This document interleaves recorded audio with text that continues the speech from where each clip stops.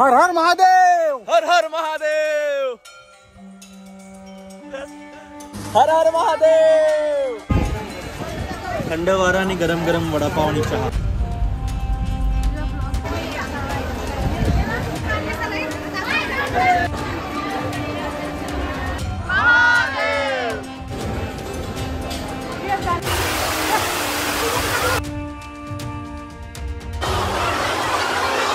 तर म्हणजे साडेतीन तासानंतर आमचं दर्शन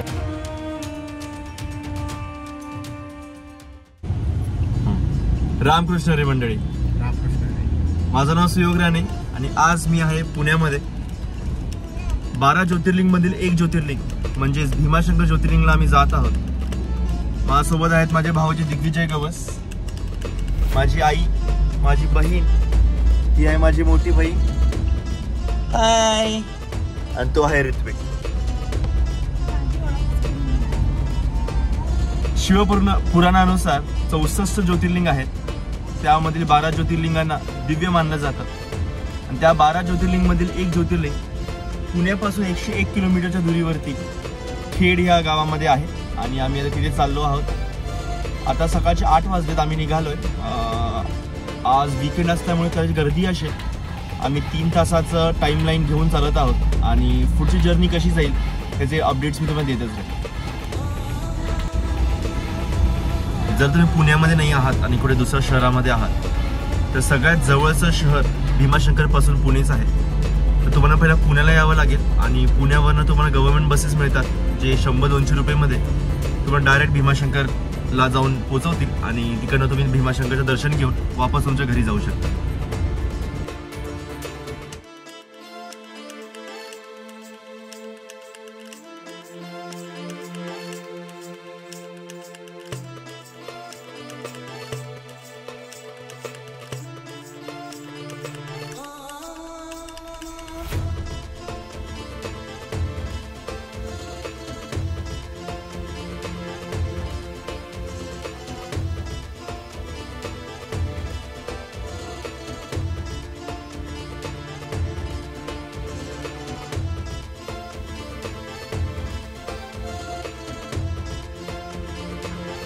तर मंडळी ज्योतिर्लिंग जर ज्योतिर्लिंगांची गोष्ट सांगायची अशी झाली तर एक दिवस विष्णुदेवामध्ये आणि ब्रह्मदेवामध्ये भांडण चाललं होतं की सर्वश्रेष्ठ देव कोण? तर त्यावेळी शंकरदेवाने डिसाईड केले की मी. आणि शंकरदेव सूर्य धरती तिन्ही लोकांमध्ये सूर्याची किरणं म्हणून उगम झाली. आणि धरतीवरती जिथे पण ते सूर्याची किरणं पडली ते तिथे ज्योतिर्लिंगांचं निर्माण हो- झालं. आणि शंकरदेवाने सांगितलं ब्रह्मदेवाने आणि विष्णुदेवांना की ह्या सूर्य किरणांची एंड किंवा शेवट तुम्ही आम्हाला शोधून दाखवा. ब्रह्मदेव आले शंकराकडे आणि सांग खोटं सांगितलं की हो मला एंड मिळालेला आहे किंवा मला त्या सूर्याच्या किरणाचा शेवट मिळालेला आहे. आणि विष्णुदेवाने खरं खरं सांगितलं की नाही मी त्याला शोधू शकलो नाही. जेव्हा शंकरदेवांना समजलं की ब्रह्मदेवाने खोटं बोलले तेव्हा ब्रह्मदेवांना त्यांनी शाप दिला की ह्या पुढे तुला कोणीही पूजणार नाही. त्याच कारणामुळे आम्हाला कुठेही भारतामध्ये फक्त एका जागेवरती ब्रह्मदेवांचं मंदिर भेटतं दिसतं. आणि ब्रह्मदेवांना लोक पूजत ते आणि विष्णुदेवांना लोक एवढं पूजतात.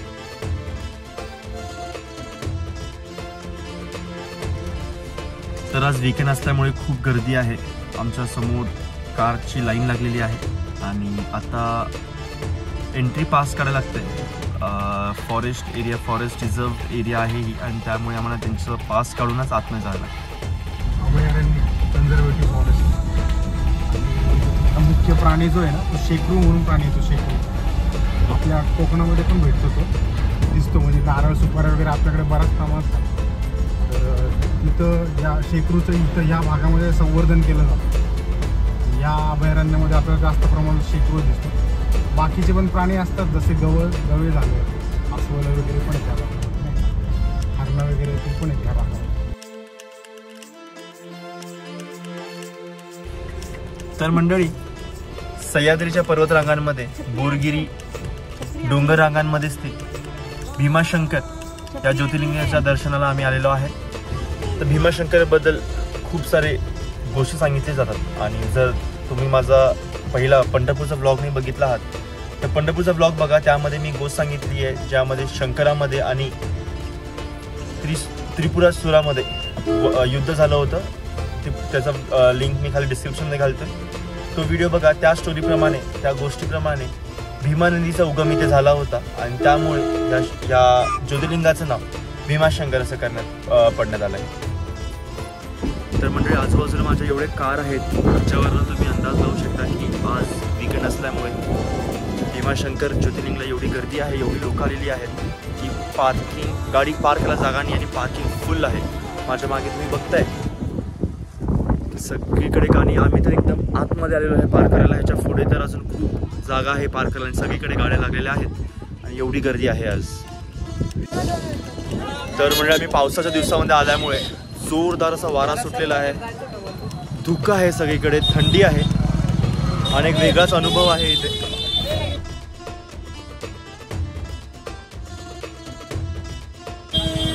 त्यामुळे खूप अशी थंडी आहे. हर हर महादेव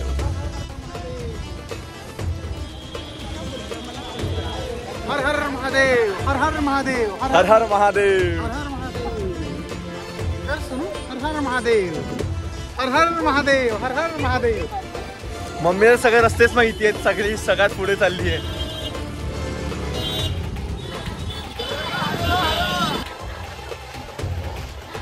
तर म्हणजे समोर बघा फक्त धुकं दिसतंय रस्ता तर दिसतच नाहीये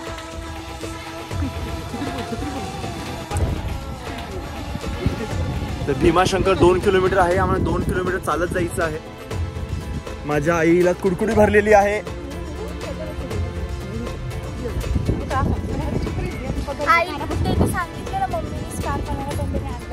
मी आणलेलो राहिलं.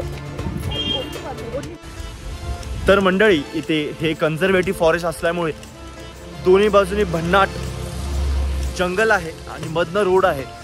आणि एवढा सुंदर अनुभव आहे असंच वाटतंय की स्वर्ग में जाके आई हो क्या?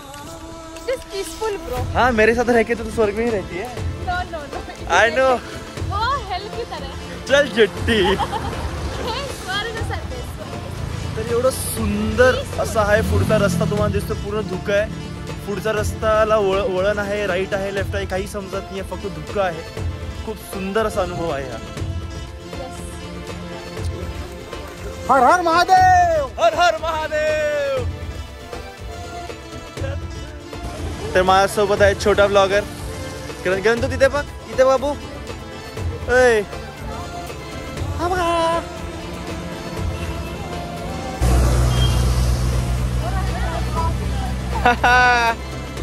सांग मामा मामाच्या चॅनलला सबस्क्राईब करा म्हणून सांगा.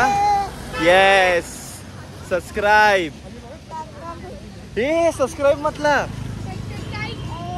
Subscribe like share share share म्हण शेअर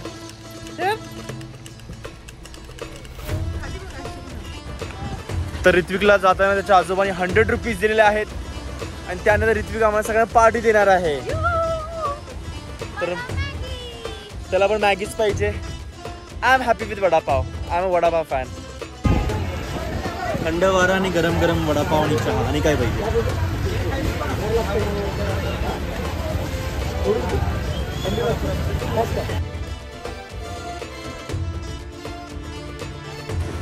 तर मंडळी आता मी चालू आहे पंचगादी मंदिरकडे. आणि हा रस्ता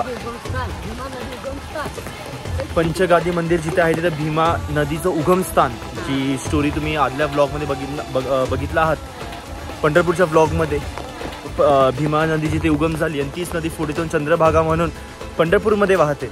त्या नदीचं उगम इथे झालेला आहे आणि आम्ही थोड्या थोड्याच वेळात तिथे पोहोचणार आहोत.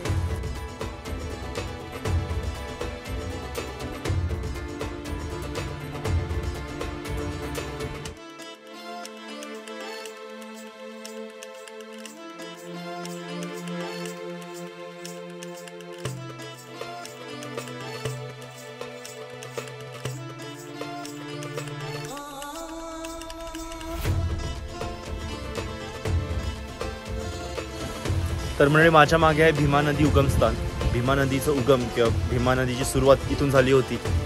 जसं मी तुम्हाला पहिला सांगितलं की हीच नदी पुढे जाऊन पंढरपूरला चंद्रभागा म्हणून वाहते. एक मंदिर आहे आणि इकडनं भीमा नदी नदीचं उगम झालं असं म्हटलं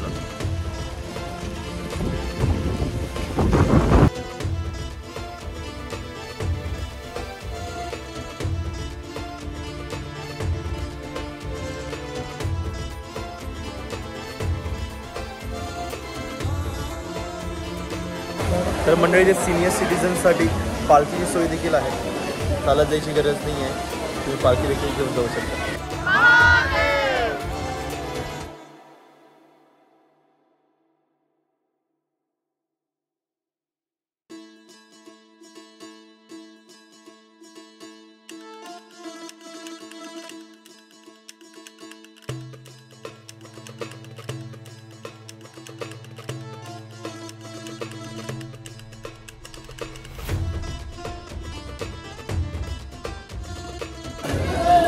मंडळी आम्ही एक वाजता लाईनमध्ये लागलो होतो.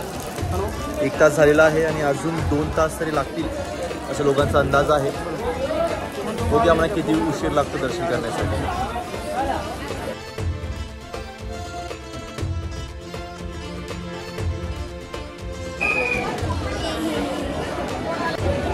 तर मंडळी आता तीन तास झालेले आहेत आणि अजून आम्ही दर्शनाच्या लाईनमध्ये आहे.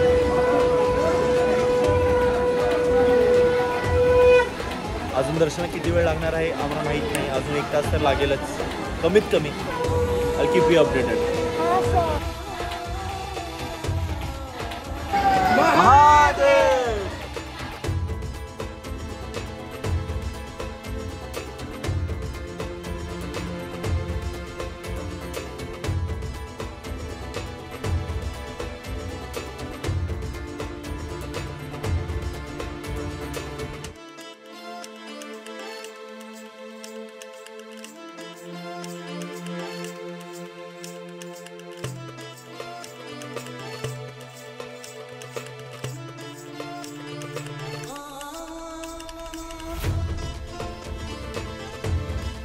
तर म्हणजे साडेतीन तासानंतर आमचं दर्शन झालेलं आहे. आता पाच वाजायला आलेले आहेत. एक वाजता आम्ही लाईन लावलेलो साडेचार वाजायला आलेले आहेत. आणि साडेतीन साडेतीन तास साडेतीन तासानंतर आमचं दर्शन झालेलं आहे. छान दर्शन झालं. आणि अजून आहे खूप ब्लॉग आहे. हर हर महादेव!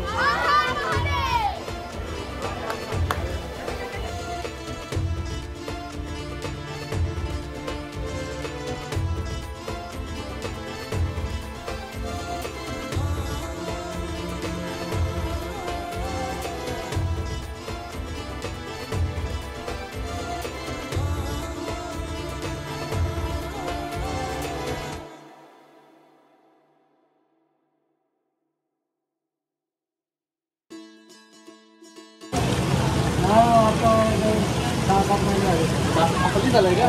म्हणजे पहिलं होतो मी इथं. हां. म्हणजे दोन महिन्यापूर्वी इकडे गेलो. ओके. पिंपळगाव रोडे नाही का?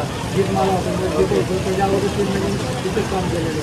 ती बघते का तरी दिवसाला कंटिन्यू म्हणजे इथं कंटिन्यू असते चालू. Okay okay. मग तो तळ्यावर पण कार्यक्रम असा बाबा आले होते. त्यावेळी पण त्यांचे फंक्शन झाले. ओके. त्यावेळी इथं आणि इथं पण प्रत्येक बाबतीत ना जेवणाचं पण तर सध्या बाबा तुम्हाला चांगलं जेवण घालतील. वडापाव तर एक नंबर आहे. तर बाबा किती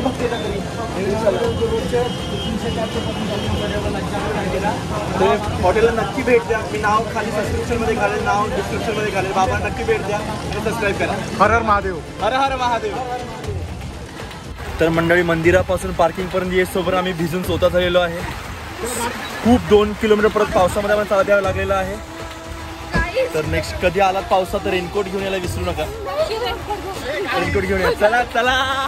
तर मंडळी आमचं दर्शन झालेलं आहे आणि मंदिरापासून पार्किंग दोन किलोमीटरच्या अंतरावरती असल्यामुळे येते येतं आम्ही पूर्ण भिजलेलो आहे. आणि आता आम- आता सहा वाजून गेलेले आहेत सहा वाजून वीस मिनटं झालेत आणि आम्ही पुण्याला जायला रवाना होत आहोत. कदाचित नऊ दहा तरी आम्हाला घरी पोहोचायचं पण वाचतीलच. आणि असेच माझे ब्लॉग्स बघत राहा आणि माझ्या चॅनल सबस्क्राईब करा. व्हिडिओला लाईक करा आणि शेअर करा. धन्यवाद. हर हर महादेव!